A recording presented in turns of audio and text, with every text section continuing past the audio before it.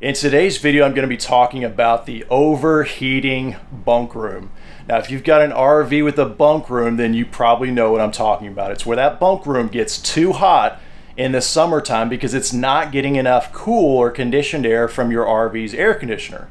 But then you go to the winter months when it's colder outside and you're running your furnace and it overheats because it's getting too much hot air coming from your furnace. So it's kind of a double whammy. It overheats in the summer months when it's warmer outside, and then it overheats again in the winter months when it's cooler outside. Now, how can this be, you might ask? Well, in an RV, your primary source of heat is going to be your furnace, which has its own set of ducts in the floor typically, and then your primary source of cooling is going to be your air conditioner, which has its own set of ducts in the ceiling. And so if you've got a bunk room in your RV, pretty much every brand, every manufacturer is going to incorporate at least one heat duct in there, and then also a single cooling duct. And the problem lies in the fact that air typically wants to take the path of least resistance. So let's just talk cooling first for a minute. So you know that your RV's air conditioner is on the roof, and that means all the ducts from the cooling are hidden up in the ceiling, just like this one here, except for a duct feeding a bunk room, as in the case of this mid bunk, where you've got this loft space up here, right?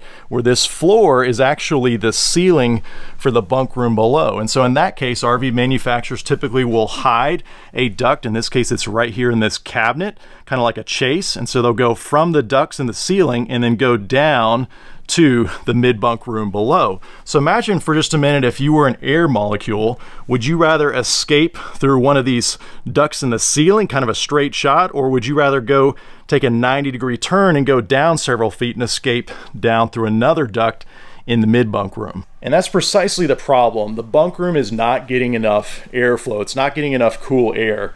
The rest of your RV is cooling down at a much faster rate because it has sufficient airflow.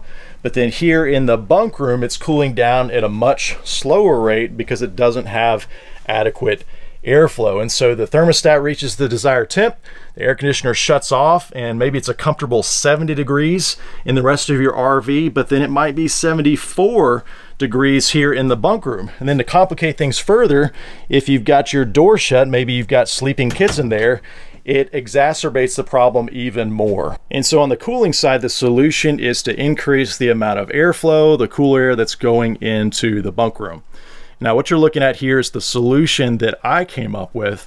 And before this, there was just a tiny four inch round circular register, just like you've got out here. Same thing was here in the bunk room. And so remember that tiny round four inch register is connected to a small four inch duct that ran up above to the ceiling ducts above and connected. So it's already taking a 90 degree turn and then it's still being squeezed through a tiny four inch round duct.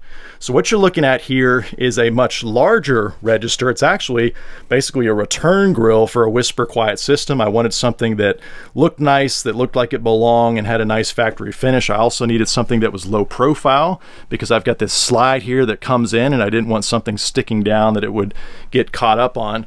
But basically this opening that I enlarged it to is four inches by 10 inches. And then I hooked that up to a six inch round duct and fed that to the ductworks above. Now, if you Google the difference in CFM, that's just an airflow measurement basically between a four inch duct and a six inch duct, it's arguably triple, if not quadruple, the difference. And so I can get triple, if not quadruple, the amount of airflow through this six inch duct and boot that's coming out of this 4x10 opening compared to the original 4 inch round register that was in here from the factory. And doing all that was definitely easier said than done. I mean, I had to crawl up here in this loft space and then gain access to this chase right here by using the inside trim panel. Now I'll throw a bunch of pictures up of what it looked like in progress. But essentially, I had to figure out a way to transition from the foam duct material that RVs use in the ceiling. That's really the most common I had to transition from that foam duct to a six inch airtight takeoff. And the way I did that is an airtight takeoff is airtight, it's got adhesive on it, but you have to clamp it down to something on the other side. So obviously sheet metal screws are not gonna clamp down into foam. And so I had to make kind of my own ring out of sheet metal to go on the inside layer of the foam ductboard that was already in the ceiling. And that way I kind of made a sandwich with the airtight takeoff. And then the next step was to enlarge the opening in the bunk room ceiling below to accommodate a much larger register. Now I settled on a 4x10 boot and of course that adopts to a 6 inch round duct and I just used some foil tape to kind of seal that to the ceiling to make sure it was also airtight. And then really the easiest part of this all was just connecting that six inch airtight takeoff from the duct above and the ceiling to the new boot down below. And I just used six inch flex duct, made sure it was clamped at the top and zip tied at the bottom connection to make sure those are also airtight. And remember, we're going from a four inch round duct to a six inch round duct, which is arguably tripling, if not quadrupling, the potential airflow that's coming out here to this final trim, this register here. And like I said, I chose this because I wanted something that blended in, that didn't stand out.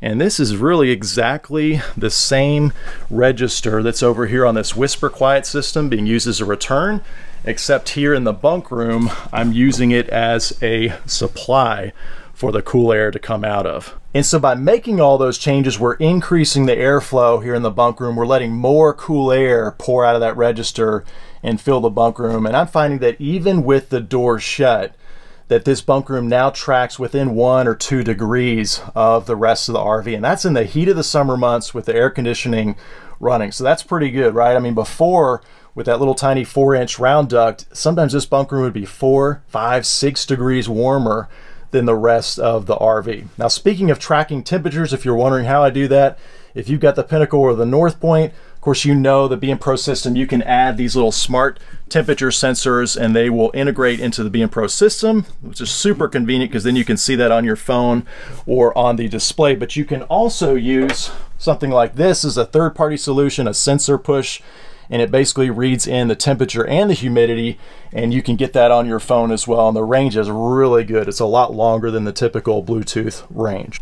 All right so we solved the cooling side of the problem but what about the heating side of the problem? When the bunk room gets too hot in the cooler months when the furnace starts running. And folks i'm talking about having a temperature set at maybe 68 degrees in the rest of your rv and then in the bunk room, when that furnace kicks on, it gets up to 76 or 78 degrees. We're talking an 8 to 10 degree difference here in the bunk room.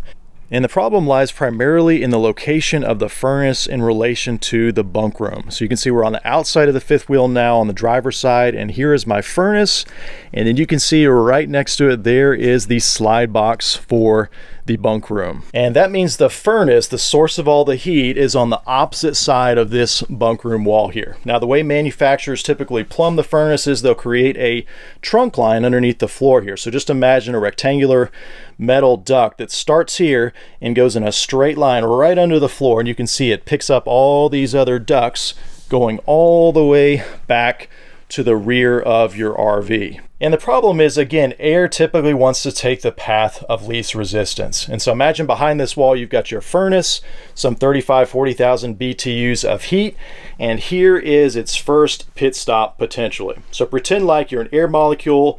Are you gonna wanna escape through the path of least resistance here in the bunk room, or are you gonna hang on for the journey and escape through one of these other registers further down the trunk line, right? And that's why it gets so hot here in the bunk room because you've got this one register that's almost directly off of the furnace pumping all that hot air into the bunk room. Not to mention potential radiant heat that's maybe even coming off of this wall here or even the radiant heat coming off of the trunk line that's running directly underneath the floor.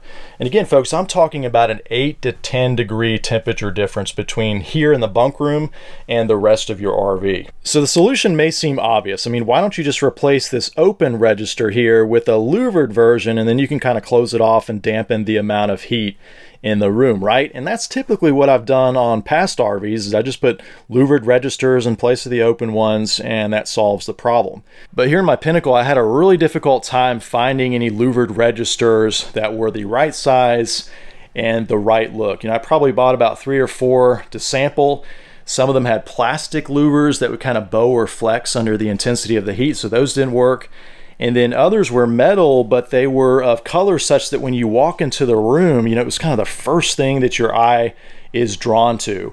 And my personal preference is with floor registers, you know, I want something that kind of blends into the rest of the decor so that when you walk into the room, it's not the big thing that your eye is drawn to immediately. And you know, I got to applaud Jayco because they did a great job sourcing the color of these registers. You know, it's kind of a seemingly insignificant detail, the color of the registers and the style, but they picked a really great choice. It's kind of a light gray color and it blends really nicely with this floor to the extent that you really don't notice that they're there. And so I decided I wanted to keep these floor registers, but I still needed to come up with a solution to block off some of that heat going into the bunk room. Now the solution I came up with is really quite simple. We're back here in the bunk room and here are some close-up views of what that register looks like after the modifications have been made. And as you can tell, it really looks the same as all the other registers in the rest of the RV. But let me take it apart so you can see what's different. All right, so as you can see, all I've done here is created kind of a U-shaped baffle made out of sheet metal that blocks off most of the hot air. Now you might be looking at this thinking, wow, you're blocking off that much air. I mean, you just got a little bit of an opening up here and then another one down here. And yeah, that's what actually balances this room. That's how much airflow before this modification was coming through and heating up this room, causing such a great temperature difference. Now there's a few things I really like about this modification. First off, the cost. I mean, it's super cheap, right? Just a piece of sheet metal, a couple bucks, and you just have to bend it and shape it to fit the profile of the inside of your register. And in my case, it's just a really tight fit, and that keeps it sandwiched in between the sidewalls here and the register opening. I also like visually, I mean, it's already sheet metal in here that you're looking at through the grate. So you're not changing anything visual. You're still seeing sheet metal. It's just at a slightly different vantage point. So I really like that when all is said and done, it looks very much original, clean, and simple. And in my situation here my fifth wheel, I only had to do that same modification to one other register to kind of balance the heating system. And that is here in the bathroom on the upper deck. And it's kind of the same story. It's the first register off of the trunk line, just go in the opposite direction. And what I found was when the furnace would kick on, just tons of hot air would fill the bathroom. And again, it'd be, you know, three, four, five degrees difference.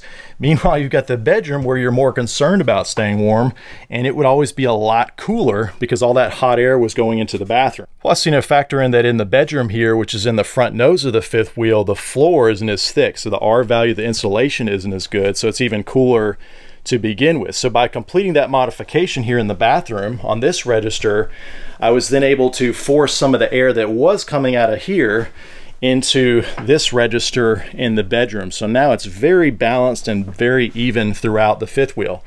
Now we'll show you close-ups of this register in the bathroom because I did not cut off quite as much air as I did in the, the bunk room. You can see it's more like three-fourths and so I cut it about right here and about right here on both sides and hopefully you can see that in the video. But basically you just have to kind of through trial and error figure out how much to block off with that same U-shaped channel cut out of sheet metal. Again, here in the bunk room, I cut off almost all the airflow. I mean, I left probably about a quarter inch on either side of airflow, and that's still enough to get plenty of heat here in the bunk room. Whereas here in the bathroom, I left probably about an inch on either side for air, and that seems to be balanced here up in the bathroom. So again, just like the alterations that I made to the cooling system on the heating system, cutting out that air supply and restricting how much air was going into the bunk room, and the bathroom balanced out the overall airflow and all the other registers such that now all the rooms track within one or two degrees of each other when the furnace is running. And that makes it a whole lot more comfortable while you're camping. Now I got one other interesting question that I want to bring up and talk about and that is why don't RV manufacturers do this balancing on the heating and cooling systems at the factory before the RV gets to you the customer right I mean why don't when RV manufacturers prototype and build out a new floor plan why don't they factor in some extra time and budget to make sure the heating and cooling system is balanced so that it's within one or two degrees of each room in the RV, right? I mean, I think that's a fair question. But think about this. How many homes have you lived in? And I'm talking about maybe nice custom homes, expensive homes, where you bought and moved into, and then you discover there's a hot spot or a cold spot, right? Depending on the season, maybe one room gets warmer or hotter than the others and it's uncomfortable, right? I guess the point I'm trying to make is I kind of get and understand why RV manufacturers don't balance the heating and cooling systems before it gets to every customer. And really, it's an expectation thing. I mean, if this problem is occurring in homes, the majority of homes that are built today, then it's no surprise that the same problem is occurring in an RV because it's just a tiny home essentially that's being built. Now, maybe if you're buying a half million dollar plus Class A unit, maybe then at that price point, it's reasonable to expect the manufacturer to balance the heating and cooling systems. But I think for most of us, it's just something that we've got to do for ourselves. You know, this is my fifth RV and every RV I've ever owned, I've had to make some kind of adjustment, even if it's minor, to the heating and cooling system for it to be balanced. But hopefully in today's video, you got some ideas, some solutions to some of the common problems with the heating and cooling system that you can try out on your RV. But I'd love to hear your thoughts and feedback in the comments below. You know, every RV is different. And so what are some of the heating and cooling challenges that you've encountered as far as balancing the temperature across different rooms in your RV and how did you solve them? I would love to hear those solutions and I think it'd be incredibly helpful to the rest of the community. So definitely let us know in the comments below. But as always, thanks for watching.